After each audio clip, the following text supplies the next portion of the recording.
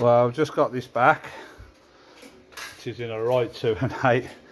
I actually switched it on and it actually fired up and I've played a couple of goes but then some smoke came from the MPU3 and that was that. But it booted up so I know there's nothing wrong with this machine, just the board. Unfortunately all my spare boards are currently at Bob's so I haven't got any spare boards. I'm not sure I'm going to be bothered to take one out of another machine. I'll just wait till they're back.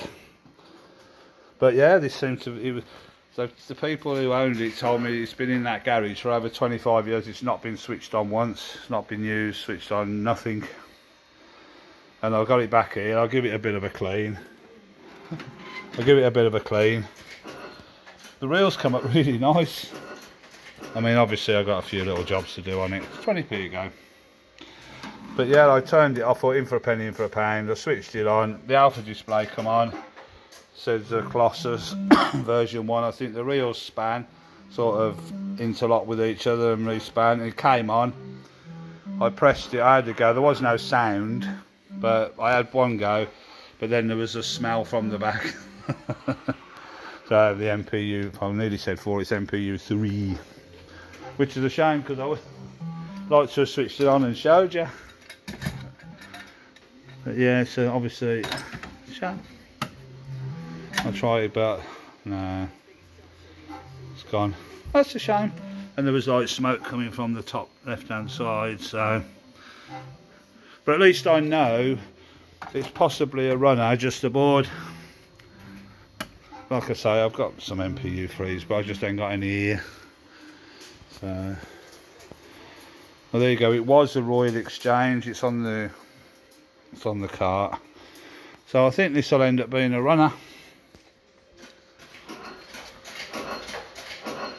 So it looks quite nice, doesn't it? It's, it's quite a, a, nice looking machine to be honest. I can't see any nudges though, but there's a gold award, cherry dip and super wins. So yeah, super wins, one, two, up to nine, up to 150. But we'll see what it's like. I think it's worth getting it running. Yeah, shuffle cancel, four holes. But there you go pot of gold. Anyone know this machine? Gold Reserve pays when it. Like say, once the spare boards come back from Bob, I'll, I'll get one in and we'll, we'll have this working. So, but unfortunately, it's not going to be today.